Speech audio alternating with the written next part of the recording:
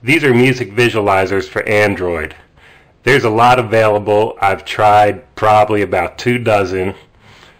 I've got three that I really like. What I look for is um, I don't like a lot of um, menus around the screen, and I like it to respond to the mic input. So some of them in the Play Store, they only respond to music that you have loaded on your tablet, but I look for things that respond to the mic input.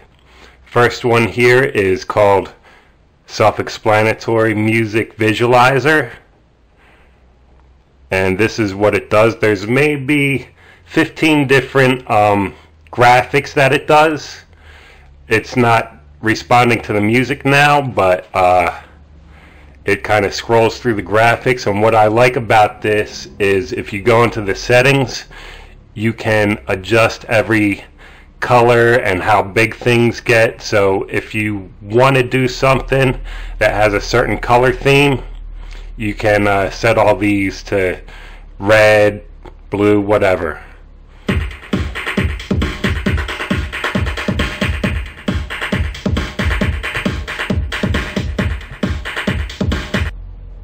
This one's called projectM. And when you go into the Play Store, there's going to be two versions a free version and a paid version. Now, the free version is a lot better than the play than the paid version for some reason. Uh, they're pretty similar, but I tend to like the uh, the free version, and then there's an in-app purchase to get rid of uh, ads and give you a couple more options. Now the thing that's cool about this is if you touch the screen you're going to get extra graphics, right? So you can use both your hands and this is fun because you can have people interact with it, you can interact with it yourself and you can add to the music. So this has a ton of different scenes and uh, effects that it goes through and you can add to the effects by tapping on the screen and drawing these different lines.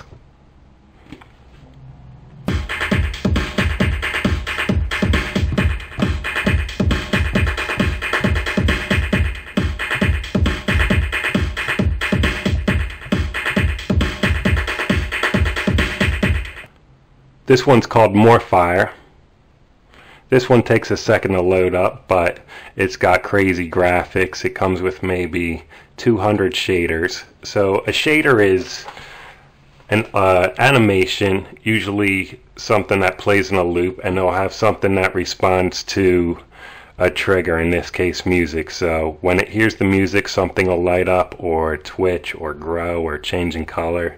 And um, they have a website where you can go and download things you like and make special playlists.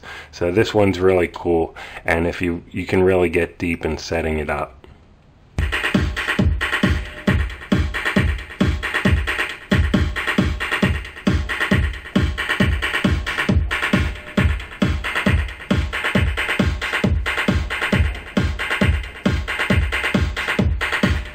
The Lenovo Tablet 2 Pro came with something called the Lenovo Sketchpad.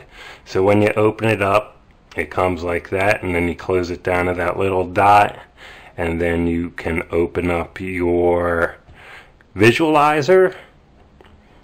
Visualizer opens up, and then you press on this little dot, and it freezes the screen. And now I can pick a color, and I can write on the screen and I like to draw so this is a lot of fun for me.